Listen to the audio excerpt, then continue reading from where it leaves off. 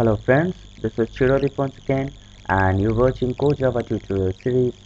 In this tutorial, uh, I, we're gonna learn about static initialization block that is SIB block. So what is static initialization block? Firstly, it is a block that is uh, named as static and no no other thing will be mentioned here and one opening bracket and one closing bracket so this is a static initialization block. It will be first loaded into the memory then the main method will be loaded and then the main method will execute. So this is the ground rule of static initialization block. As you can see I have defined one static initialization block that is static opening parenthesis and closing parenthesis and I have printed SIB so SIB is getting printed firstly then the main method will be executing and then main will be printing now moving to the next class as you can see that I have defined main method first and then static but no matter whatever way you declare static static initialization block will be loaded firstly into the memory then the main method. And the loading will be top to bottom wise. So here only static method is one static method is declared.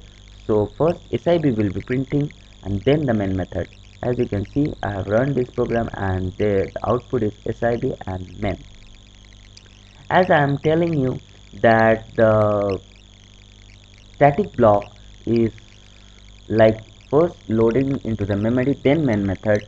And here also I have de defined one global variable static integer i equals to 0 then main method main equals to i I'm printing main plus i. So this value will be the the value of this and I'm calling static block uh, static initialization block. Here I'm printing plus i so i will be printing 0 and then i is getting modified by 100 and then main method is calling then 100 will be printing. So as because static initialization block is first loaded into the memory so this this line will print 0 and this line will uh, execute the value. The reinitialization will happen in this line and i is getting reinitialized by 100 and then it will be getting the print from main so as you can see sib equals to 0 first sib block is uh, executing then i is getting reinitialized by 100 then main method is executing. So the main method value will be 100 now moving to the next class uh, as you can see that this is a public class. E i have defined one global variable here static int i equals to 10 and one both are the static block and as I'm telling you that the static initialization block will be executed from top to bottom. So first it will execute this block then this block then the main method.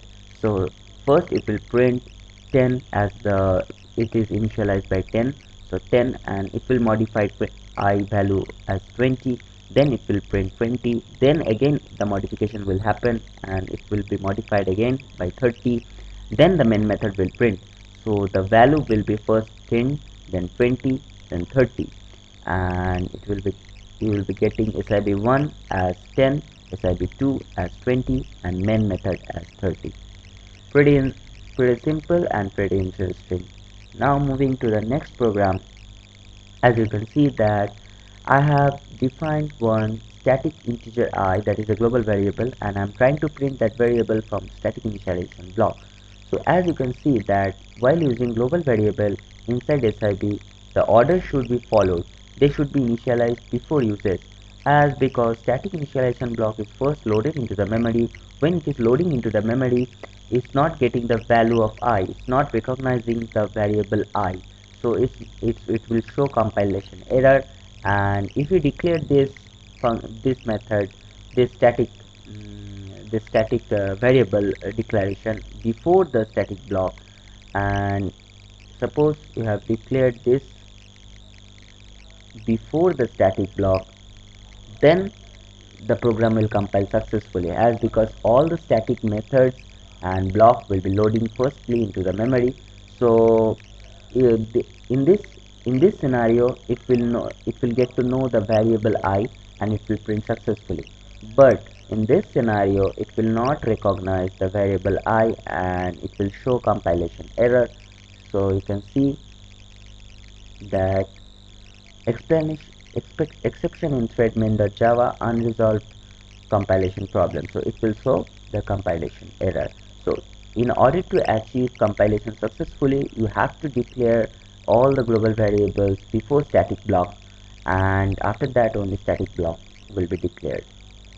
Now moving to the next class I have defined one class here class G and right now I am defining the global variable first line into the class and then I am using main I am calling main method as null value and I am reinitializing i as 10 so what will be happening here?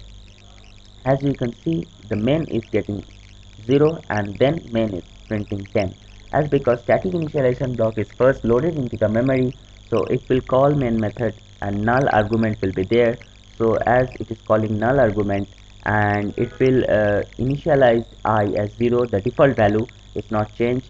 Then again it will uh, it will revert back to this and i is getting modified by 10 then main method will be loaded into the memory and in after loading the main method i is getting the value as 10 as it was modified in the static initialization block so it will be getting main as 10 so this is for the SIB block. More uh, more interesting example of SIB block are yet to come. So watch the videos carefully and thanks for watching. Have a nice day